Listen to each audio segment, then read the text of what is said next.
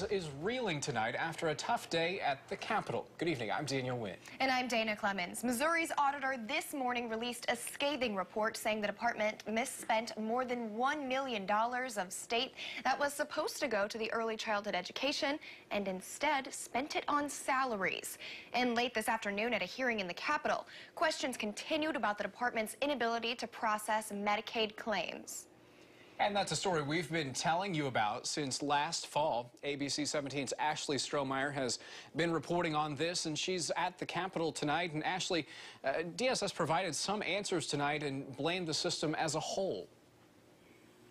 Daniel, today Allison Campbell, one of the directors at Social Services, updated lawmakers on how the department is doing.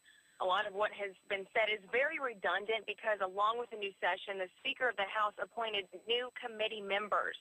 Now, Campbell tells lawmakers if someone needs help with eligibility or any new new provided by social services, they could contact the call center.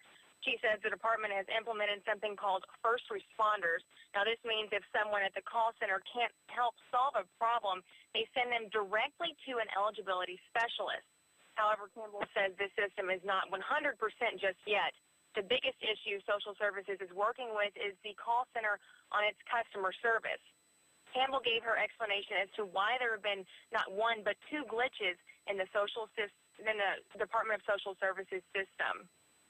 We were building it as we were using it. Just a horrible way to implement a system, but that's what we did. We are continuing to look at it, and it's something that we, again, I look at it every day. I look at the numbers every day.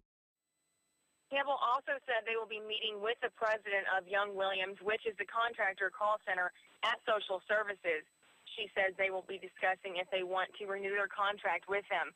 Live at the state capitol, Ashley Strohmeyer, ABC 17 News.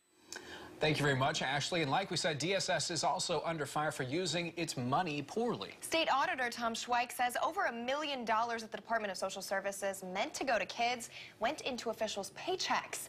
The audit shows the department let contractors boost their salaries for seven months instead of serving more families in the government-funded Head Start programs.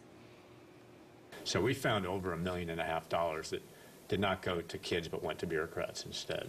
That for the amount of money they were being paid, the contractors should have been handling about 580 families and they were handling 240 families instead. Tom Schweich also said there's not enough on-site monitoring of contractors with social services to make sure they're actually providing services.